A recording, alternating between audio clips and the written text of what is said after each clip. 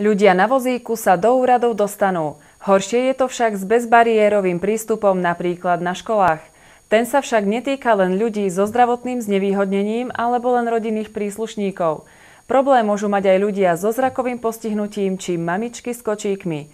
Na túto tému sme sa preto pozreli bližšie. Bezbariérovo slúži najmä pre jednu základnú vec, aby bola vyriešená bezpečnosť a prístup do miestnosti, a to či už do školy, do banky a do rôznych iných zariadení. Čiže nemôže bezbariérovo sa riešiť len na základe jedného špecifického ochorenia, lebo to, čo vyhovuje telesne postihnutým, nemusí sluchovo postihnutým, zrakovo postihnutým, takže stred záujmov musí byť vždy docelený. Až potom môžeme povedať, že je to bezbariérovosť. Zákon ukladá povinnosť, aby všetky školy umožnili začlenovanie žiakov zo špeciálnych sociálno-výchovno-vzdelávacími potrebami.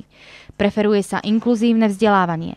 Problém je v tom, že školy síce tieto deti príjmu a začlenia ich, avšak nedokážu následne poskytnúť komplexnú starostlivosť.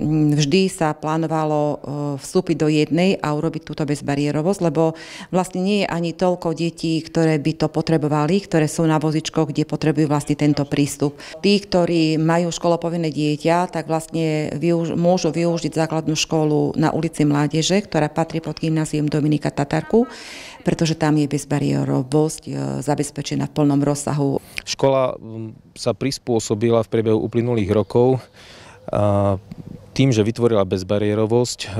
Na škole máme bezbariérové vstupy viaceré do budovy a zároveň k dispozícii sú výťahové plošiny, ktoré umožňujú žiakom v absolvovať výučbu aj v učebniach, ktoré sa nachádzajú na poschodí. Veľká časť popradských základných škôl bola postavená v 70. možno 80. rokoch a vtedy sa stávalo podľa iných podmienok možno trochu viac na krásu. Boli tam veľmi často pompézne, široké vstupy, veľmi často s dlhými schodiskami. Dnes je už doba iná a vidíme, že takéto vstupy predstavujú skôr problém z pohľadu bezbariérovosti.